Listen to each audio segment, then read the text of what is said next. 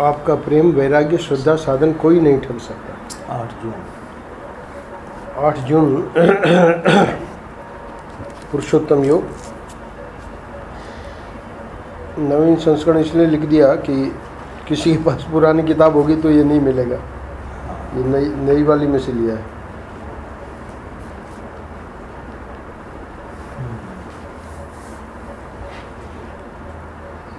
तो शीर्षक है, आपका प्रेम वैराग्य, श्रद्धा, साधन कोई नहीं ठग सकता। अच्छा ये पंद्रहवें अध्याय पे महर्षि के जो प्रवचन हुए, साध्वी कंचन ने, उनको लिखा और फिर ये पुरुषोत्तम योग जो है, नवीन संस्करण का मतलब है कि वो जो पहले जो पुस्तक थी, वो प्रवचन कहीं और हुए थे। और ये प्रवचन कहीं और हुए तो इसमें पुरुषोत्तम योग के श्लोकों का महर्षि ने विस्तार में व्याख्या की है। और व्याख्या तो अद्भुत है ही है। पूर्व की भी व्याख्या अद्भुत ही थी, पर वो सुन के नहीं लिखा गया था। पहले शॉर्ट हैंड होता था तो सुदर्शन सिंह चक्र बहुत सारा अपने डायरी में लिख लेते थे, फिर उसी से फिर छप जाता था। ये पूरा सुन के लिखा है। और पुरुषोत्तम योग जो है पंद्रवा अध्याय गीता का बहुत ही महत्वपूर्ण है। क्योंकि गीता, वैसे तो गीता शास्त्र है, पर इसको पंद्रहवें अध्याय को भी शास्त्र ही कहा है। इतना महत्वपूर्ण है ये कि पूरी गीता का सार इसमें बीस श्लोकों में भगवान ने दे दिया है। तो ये जो पांचवा श्लोक आज जिस पर व्याख्या करेंगे महाराष्ट्री तो इसमें कह रहे हैं कि जो मान मोह से रहित है, निर्माण मोहा, संग दोष को जीत चुके हैं, जित संग दोषा, और आगे कह रहे हैं, सदा अध्यात्म में स्थित हैं। अध्यात्म नित्या विनिवृत्त कामा और कामनाओं से छूट चुके हैं। द्वंद्वी विमुक्ता सुख दुख संज्ञ ही सुख दुख आदि द्वंद्वों से रहित हैं। पाँच चीज़ें बताई। ऐसे जो अमूढ़ पुरुष हैं उस अव्यय पद का अनुभव करते हैं। वो लोग जो हैं वो इस अव्यय पद का अनुभव करते हैं। तो इस श्लोक में बता रहे हैं कि कौन उस अव्यय पद को, अव्यय पद का अर्थ है कि अपना जो स्वरूप है, उसी को यहाँ परम पद, अव्यय पद तो स्वरूप क्या है? वही जो ब्रह्म कहना चाहिए। तो ब्रह्मात्म के बोध को कौन प्राप्त करता है? ये पाँच चीज़ें जिसके जीवन में आ जाए। निर्माण मोहाजित संग दोषा, अध्यात्म नित्या विनिवृत्त काम द्वंद्व विमुक्ता सुख दुख संज्ञ गच्छन्त्यमूढ़ा पदमव्ययम तत्। जो मान मोह से रहित है, संग दोष को जीत चुके हैं, सदा अध्यात्म में स्थित हैं, कामनाओं से छूट चुके हैं, सुख दुख आदि द्वंद्वों से रहित हैं। वे अमूढ़ पुरुष उस अव्यय पद का अनुभव करते हैं। अच्छा। अब परम पूज्य महाराज श्री अपनी विलक्षण व्याख्या में ये समझा रहे हैं कि मानमो छूट जाए तब तो वेदांत का विचार नहीं होता। वेदांत विचार के द्वारा अर्थात आत्मा अनात्म विवेक करने से मानमोह छूटता है। संग दोष दूर हो जाए तब गुरु की शरण जाएँगे, यह भ्रांत भाव है। गुरु की शरण जाने से संग दोष छूटेंगे। कामनाएँ मिट जाए, तब भक्ति नहीं। ईश्वर की भक्ति करोगे, तब कामनाएँ दूर होंगी। तो तीन बातें हैं। एक में ईश्वर को लिया है, एक में गुरु को लिया है, और एक में वेदांत विचार को लिया है। तो मानमोह में वेदांत विचार को लिया है। कोई अगर कहे कि भाई मानमोह हमारा छूट जाए, तब वेदांत का विचार करेंगे, बोले ये गलत है। वेदांत विचार के द्वारा अर्थात आत्मानात्म विवेक करने से मान मोह छूटता है। अच्छा फिर संग दोष तो संग दोष दूर कैसे होगा? बोले संग दोष दूर हो जाए, फिर उसके बाद हम गुरु के शरण में जाएँगे। बोले, नहीं नहीं, ये गलती मत करना। ये भ्रांत भाव है क्या? कि पहले संतोष दूर हो जाए, फिर गुरु के पास जाएँगे। तो फिर सही भाव क्या है? गुरु की शरण जाने से संग दोष छूटेंगे। और तीसरा, जो कि और भी मुश्किल है, विनिवृत्त कामा तो कोई कहे कि कामनाएँ मिट जाए है ना तब फिर हम भक्ति करेंगे। बोले ये भी भ्रांत भाव है। तो असलियत क्या है? बोले ईश्वर की भक्ति करोगे तब कामनाएँ दूर होंगी। यानी अभी जो माजी आई थी तो हमने उनका वो था कि पंद्रवा अध्याय आप करिए। जी जी। तो पंद्रवा अध्याय किया उनके साथ पर इसी श्लोक में ये जो बात विशेष बताई है महाराष्ट्र ने हाँ। है ना वो वहाँ हालाँकि इस श्लोक पे काफ़ी और और टीकाओं को देखा देखा। पर ये महाराष्ट्री वाला तो हमने कह दिया कि भाई पुस्तक है ही है फिर बाद में ये लोग वहाँ अपना करेंगे। तो तीस पुस्तकें ले गए हैं पुरुषोत्तम योग की।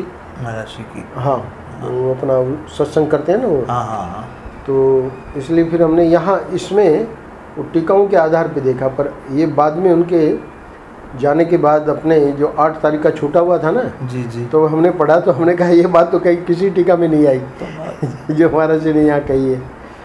तो बहुत अद्भुत बात है।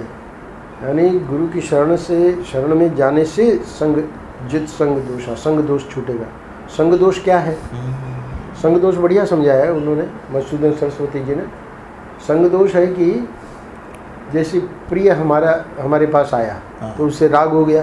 हाँ। अप्रिय आया है ना? तो हटाओ उसको है ना? मन में सोच रहे जल, जल्दी जाए एक है।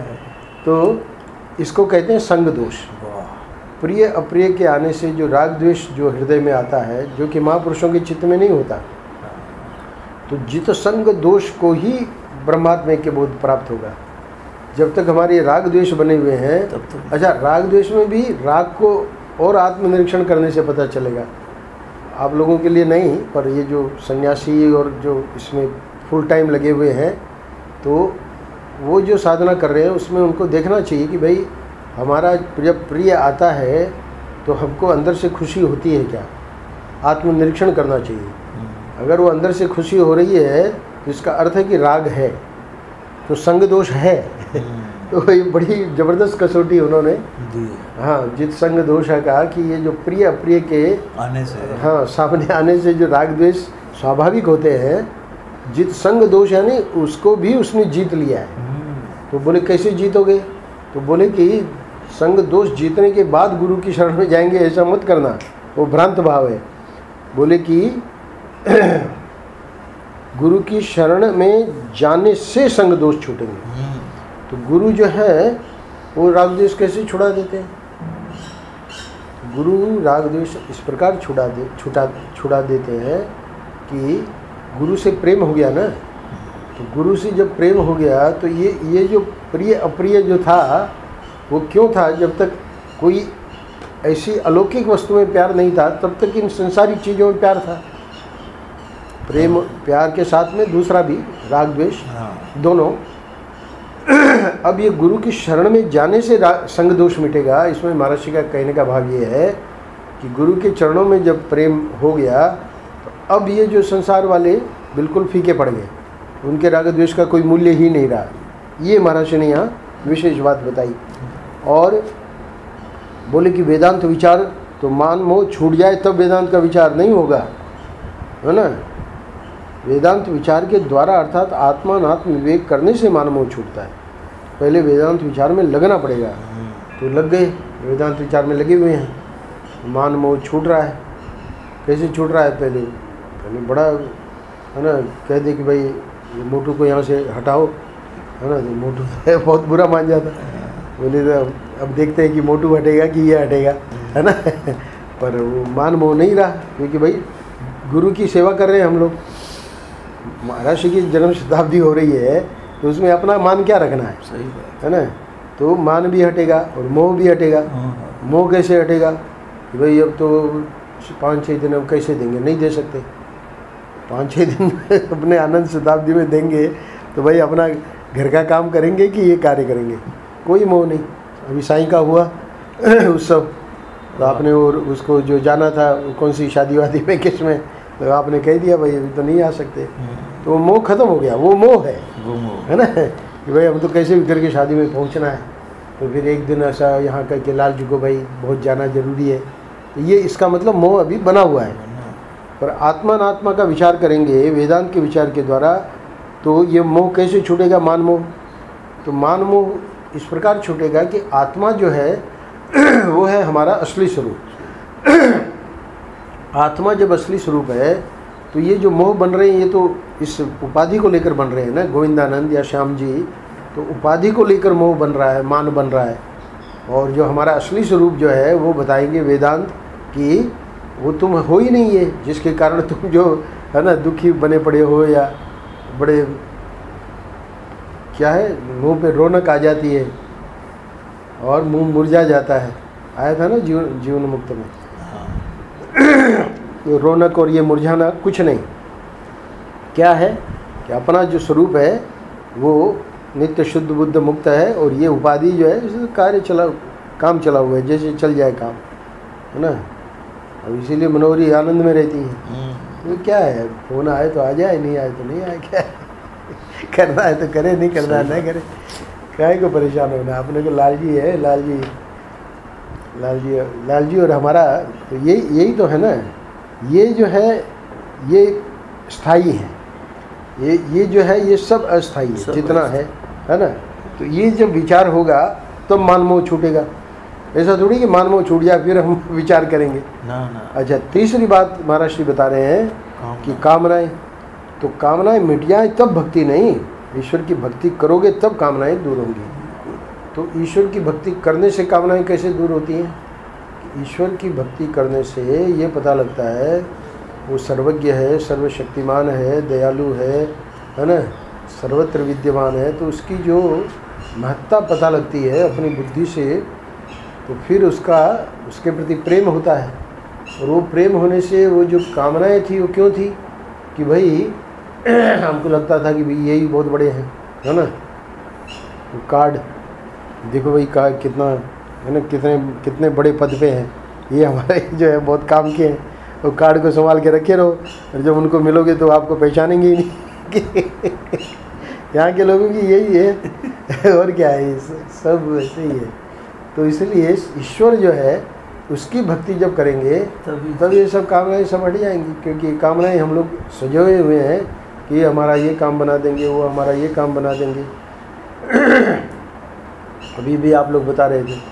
जब तो हम लोग सोच रहे थे कि उसके पास कुछ पहुँच जाए तब तक कुछ नहीं हो रहा था। अब अपने आप ही ठाकुर जी।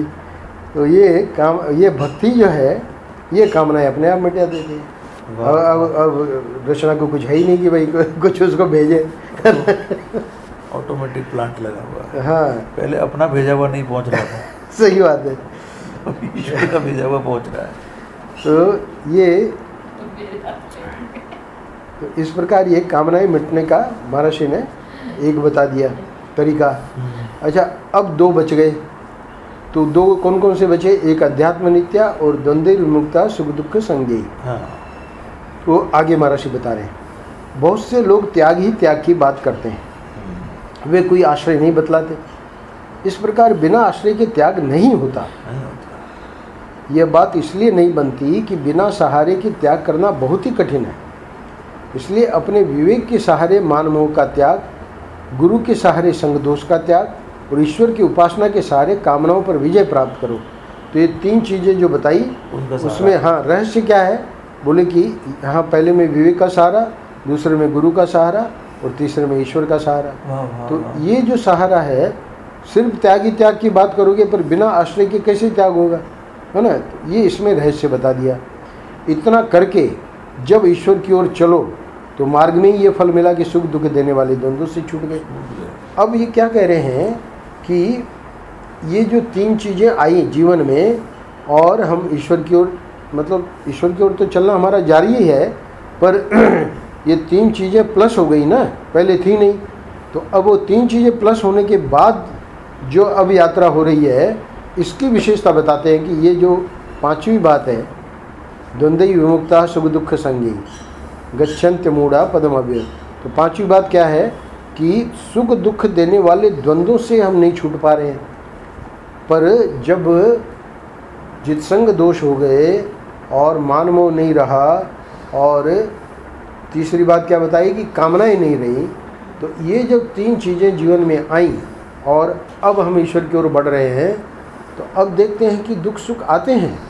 पर वो दुख सुख जो है अब छूते नहीं हमको। हम्म, यानी उसका कोई प्रभाव नहीं पड़ता। दुख आया ठीक है ठाकुर जी कुछ परीक्षा ले रहे हैं है ना ठाकुर जी हमको और और दृढ़ कर रहे हैं और हमको पक्का बना रहे हैं। तो बिल्कुल उसका अपना भाव ही बदल गया दुख को लेकर। पहले अपमान महसूस होता था बड़ा दिल जो है है ना वही मुरझा जाता था हाँ। चेहरा।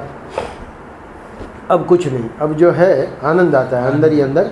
ये ठाकुर जी बड़ी कृपा कर रहे हैं है ना? हमको पक्का बना रहे हैं। विघ्न से कांपते क्यों?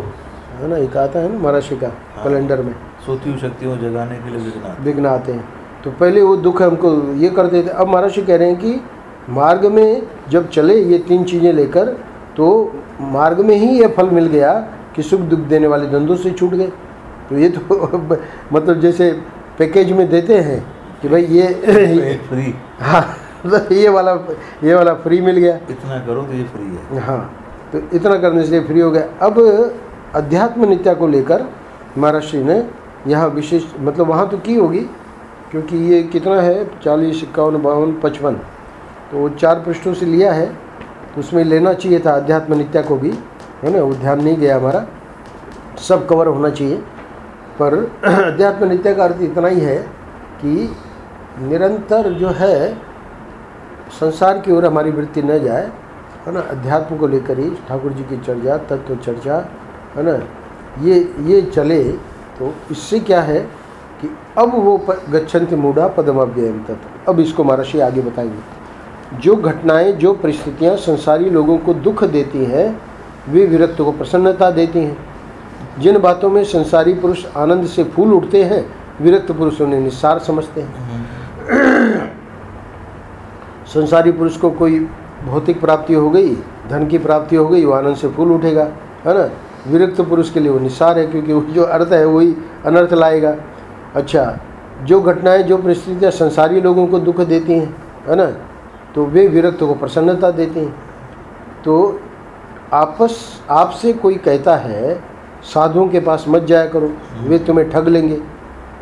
तो ये बात तो ठीक है कि वह आपका धन बचाना चाहता है और आपका हितैषी है इतनी बात तो पक्की है। लौकिक दृष्टि से उसकी सलाह ठीक है ये भी ठीक है इतना भी महर्षि मान रहे हैं। पर अब अध्यात्म की बात चल रही है ना अध्यात्म नित्या तो अध्यात्म नित्या की दृष्टि से अगर इसकी व्याख्या करें लेकिन उसने श्रद्धा के स्थान पर संदेह उत्पन्न किया। हम्म, ईश्वर के स्थान पर धन का महत्व तो आपकी बुद्धि में बैठाया। तो ये जो दो बातें हैं, वो भले लौकिक दृष्टि से तो ठीक हो गया। उसने आपको सावधान कर दिया कि भाई, है ना, ये ज़रा थोड़ा सा फूंक फूंक के चलने का मार्ग है, पर दूसरी दृष्टि से उसने आपका नुकसान किया। क्या? कि श्रद्धा के स्थान पर संदेह उत्पन्न किया।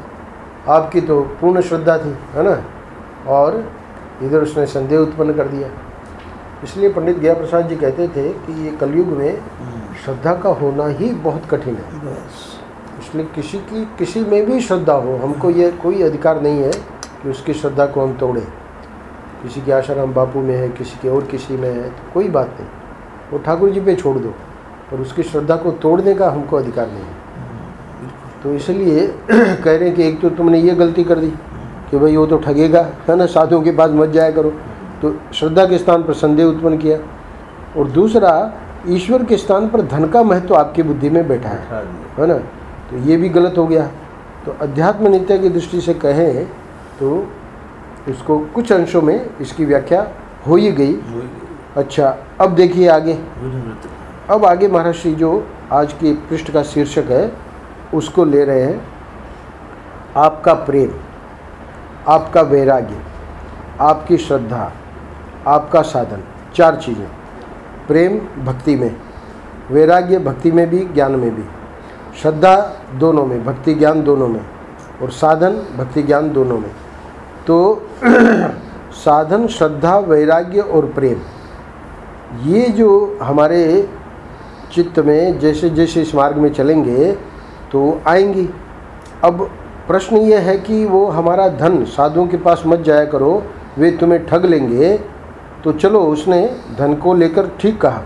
आपका धन बचाना चाहता है, आपका हितेशी है, लौकिक दृष्टि से उसकी सलाह ठीक है, पर हमारा ध्यान इस पर जाना चाहिए कि भाई हमारे प्रेम, वैराग्य, श्रद्धा और साधन, बलि था ना? तो बलि को शुक्राचार्य जी ने, उनके गुरु ने कहा कि, अरे भाई, तुम ये तीन पाँव बिल्कुल मना कर दो, है ना? कोई इसमें पाप नहीं लगेगा, है ना? ऐसा शास्त्र में विधान है, और ये तो चूँकि तुमको पूरा का पूरा ही तुम्हारा ले लेगा। तो बलि गुरु थे और शुक्राचार्य गुरु थे उनको पता लग गया था ये विष्णु है। हाँ। तो इसलिए उनको सलाह दी पर बलि जो था वो पक्का था। उसको लगा कि अगर ठाकुर जी हैं है ना और वो मांगने आए हैं और वो मैं उनको मना करूँ तो इसकी तो कोई ज़रूरत ही नहीं है। बोले क्या क्या कर लेंगे? हमारा क्या ठग लेंगे वो? बलि ने कहा क्या ठग लेंगे? न तो श्रद्धा ठग सकते हैं, है ना, न प्रेम ठग सकते हैं, न वैराग्य ठग सकते हैं, न साधन ठग सकते हैं। तो इसलिए महर्षि कह रहे हैं कि आपका प्रेम, वैराग्य, श्रद्धा, साधन कोई ठग, नहीं ठग सकता। वो जो है ठाकुर जी, बलि का लोक और परलोक ले लेंगे, है ना, फिर कहेंगे तीसरे पाँव के लिए हमको जगह बताओ। तो उसने, देखिए ठाकुर जी ने बुद्धि दी, बोले हमारे अहंकार को ले लीजिए। जिसकी वस्तु थी, वो तो आपने ले ली, पर जिस, जो है, जिसने दिया उसको तो आपने नहीं लिया उसी को नाप लीजिए है ना? तीसरा पाँव इस, मेरे मेरे सिर पे रखिए। तो प्रेम वैराग्य श्रद्धा साधन कोई भी नहीं ठग सकता। ये आज के पृष्ठ का मुख्य वाक्य है। यहाँ हमको जब पक्का ये रहे कि इसको तो कोई ठग ही नहीं सकता तो वो व्यक्ति जो है है ना इस मार्ग में चल सकता है बिना किसी झिझक के। जो भगवान को पाना चाहता है उसे धन में इतनी महत्व बुद्धि क्यों हो कि धन ठगे जाने से के डर से वह सत्संग से ही वंचित रहे? इस प्रकार की शंका वैराग्य की कमी से होती है। तो इस बात को और स्पष्ट कर दिया हमारा श्री ने और अंत में जब ये आया गच्छन्ति अमूढ़ा पदम अव्ययम तक उसकी व्याख्या कर रहे हैं। एक ही अव्यय पद अर्थात परमार्थ तत्व हम्म। ईश्वर जीव तथा जगत तीनों के रूप में प्रतीत होता है ठीक। हो रहा है। यानी वो जो अव्यय पद है कल मैंने बताया था सचित आनंद में चित्त जो है उसको देखे बिना रहा नहीं जाता। हम्म। देखने के लिए कोई चीज़ है नहीं। तो वो जो चित्त है वही देखने वाला बन जाता है वही दिखने वाला बन जाता है। तो यहाँ क्या हो रहा है कि एक ही अव्यय पद अर्थात परमार्थ तत्व ईश्वर बन गया जीव बन गया। है ना ये तो हो गया देखने वाले। और दिखने वाला जगत बन गया। तो तीनों के रूप में वो एक ही तत्व प्रतीत हो रहा है। तीन है नहीं, एक ही है। उस अव्यय पद को अमूढ़ा गच्छन्ति, अर्थात अमूढ़ा यानी ज्ञानी। तो ज्ञानी प्राप्त करते हैं, अनुभव करते हैं। तो ये आज महाराष्ट्र ने संक्षेप में इस बात को रखा है और हम लोग देखते हैं कैसे क्या श्याम जी का मूड है।